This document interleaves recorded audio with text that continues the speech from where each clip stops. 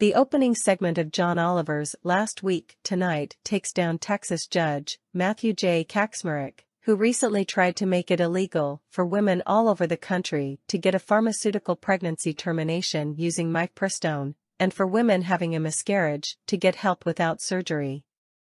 With no fundamental knowledge of science and using testimonials from a propaganda website that couldn't even be verified as real, Kacsmaryk overruled the Supreme Court's claim that laws governing women's medical decisions would be left up to the states to decide. Announcing the segment, Oliver called it the thing Republican men love to ban as much as they love to secretly pay for. As a CBS News report explained, Kacsmaryk claimed that the FDA improperly approved the drug 23 years ago. The problem with his claim is that the FDA actually researched the drug three times as long as they researched other drugs.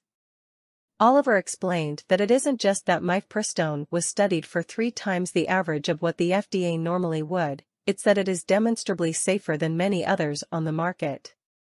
CNN used the same FDA data to show the number of deaths caused by mifepristone compared to penicillin and Viagra. Mifepristone is safer than both.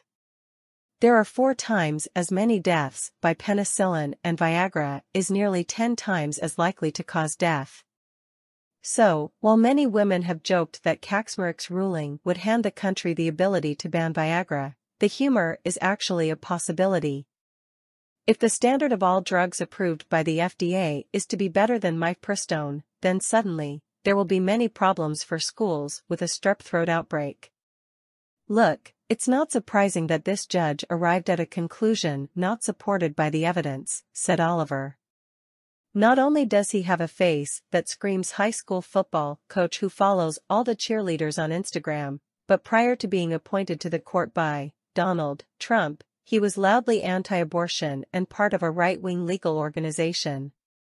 The host went on to say that it wasn't a surprise that Kacsmaryk would try and ban abortion for the country but the way he got there was shockingly dishonest. At one point, his ruling cites a statistic that 77% of women who had a chemical abortion reported a negative change as a result. But the sample for that study was based on 98 blog posts on an anti-abortion website, Oliver explained. Even the study itself pointed out how non-representative it was. It said, most women, reported that their medication abortion changed them, which is not surprising given the name of the website, Abortion Changes You. And that is some heavy confirmation bias. And using that as your source is like saying abortion makes you better at frisbee golf by using a website called Abortion Makes You Better at frisbeegolf.com. Also, one more point on abortion changes you, Oliver paused. Not to be crass, you know what else does that?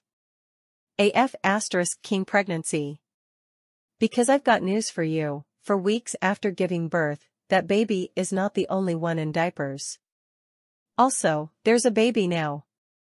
He closed by bashing Kacsmaryk as some Disney Channel vice principal who wanted to play doctor for the whole F king country.